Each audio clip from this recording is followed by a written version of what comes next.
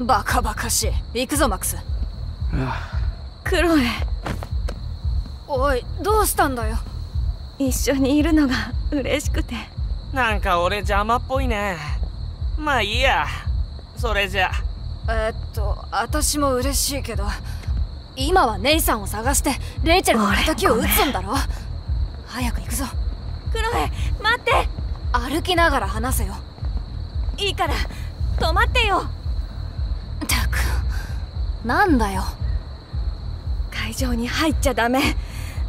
入るとクロエが死んじゃうから。巻き戻したんだなどうせヘマしたんだろ。違うって。そもそもマックスがちゃんとサポートすればネイさんに殺されずに済むはずだろ。ネイさんじゃないの。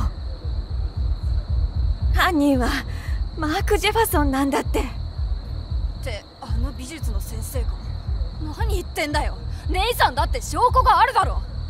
早くしないとまた誰かが餌食になる。行くよ。ネイさんはもう死んでる。クロエも危ないの。ネイさんが？なんでわかんだよ。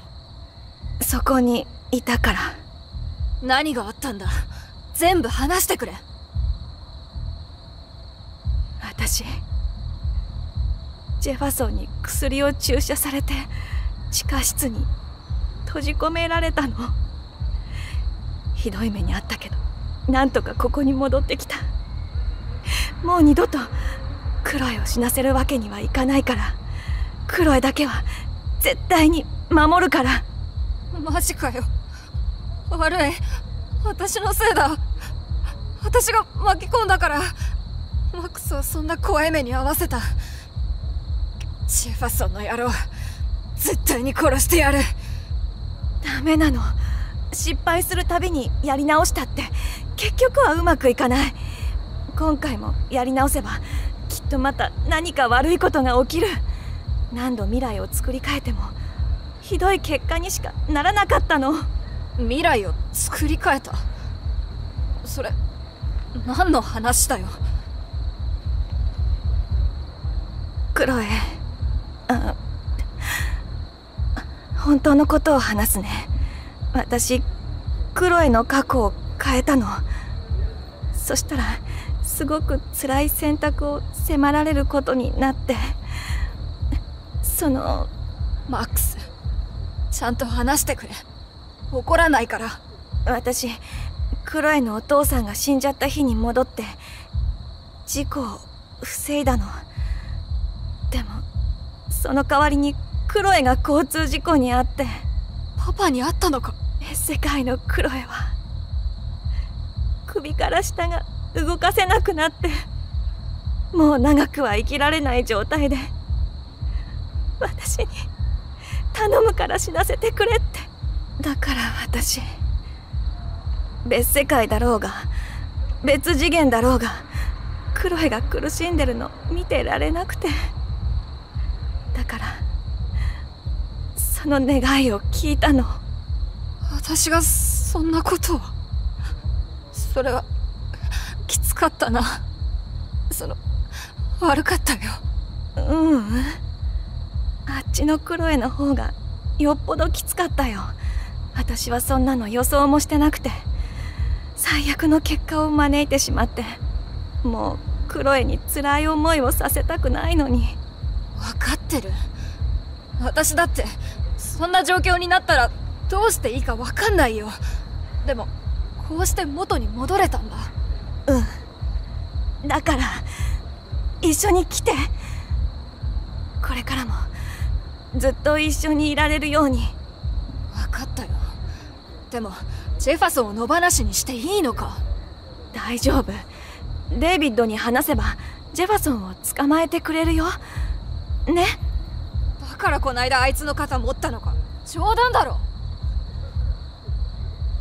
デイビッドは命の恩人だよ。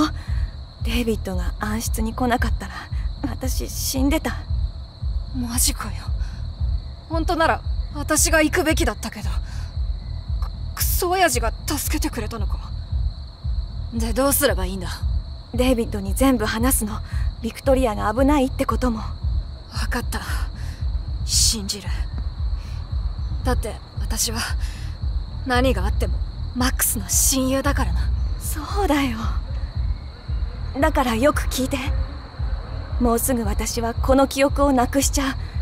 私たちはクロエの部屋で待機してそれからデイビッドに全部話すの。あとはデイビッドが何とかするはず。今言ったことを後で全部私に伝えて写真を使って時空を超えたって言えばわかるから。信じるかな？クロエを疑うわけないよ。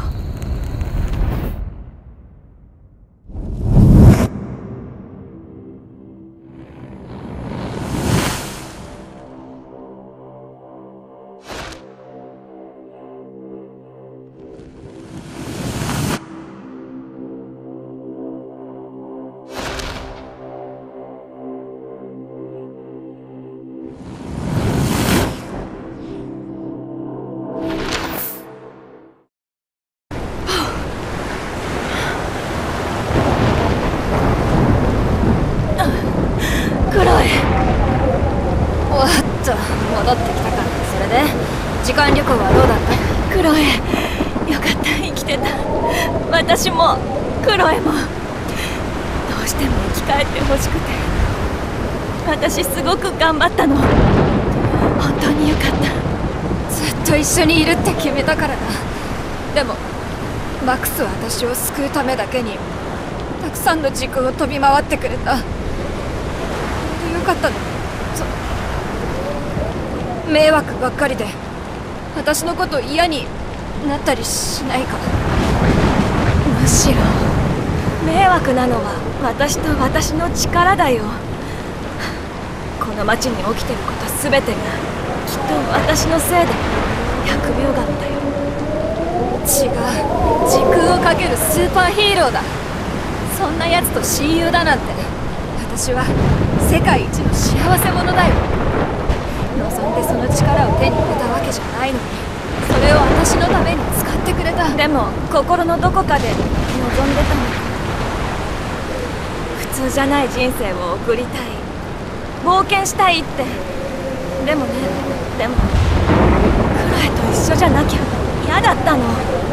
だからこの力もクロエのおかげなんだよ。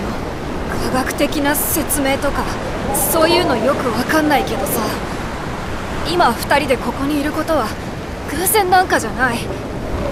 レイチェルどこかで見守ってるはず。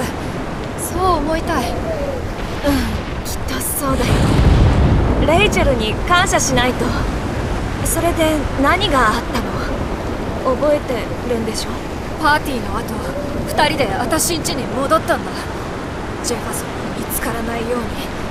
でも嵐がひどくなってマックスが東大に避難しよう。でもクロエこっちに向かってるよ。